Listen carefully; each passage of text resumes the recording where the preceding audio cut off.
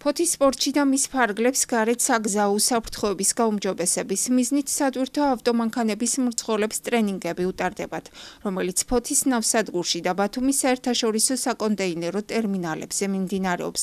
პირველი ორი ტრენინგი შვეიცარიულმა არაკომერციულმა ორგანიზაციამ ჩაატარა.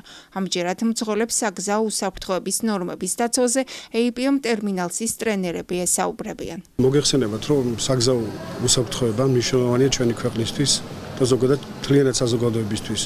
აქედან გამომდინარე ეს ტრენინგი, რომელსაც დღეს ჩვენი მნიშვნელოვანი ნაწილი გაივლის მძღოლების, პროფესიონალი მძღოლების გაცილებით უსაფრთხოს გახდის საგზაო უსაფრთხოების ამიც.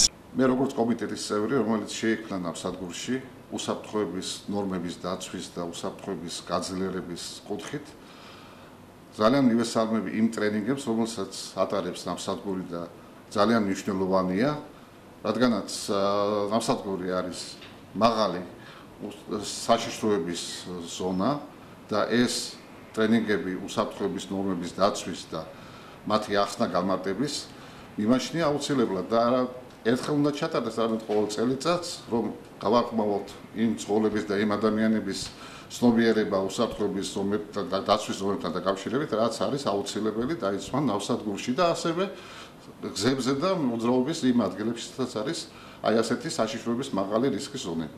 ტრეინინგი მნიშვნელოვანია ადამიანის სიცოცხლისთვის, პირადად ჩემთვის, პირადად გვერდიმწყობზე შეიძლება ეზოში რო შევდივარ, აგერ ტერმინალზე შევდივარ, ვინმე რო არ დავამარცხო, მე თვითონ რო არ დავმარცხდე. მნიშვნელოვანია ძალიან. ასეთი ტრენინგები თუ ხშირად ჩატარდება, ძალიან კარგი იქნება. ცოდნას გავიღმავებთ.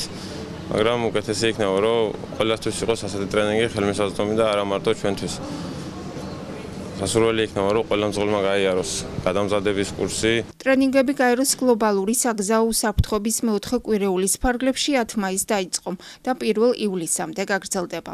გადამზადების კურსი ამ ეტაპზე სატვირთო მანქანის 600-ზე მეტმა მძღოლმა უსასყიდლოდ გაიარა.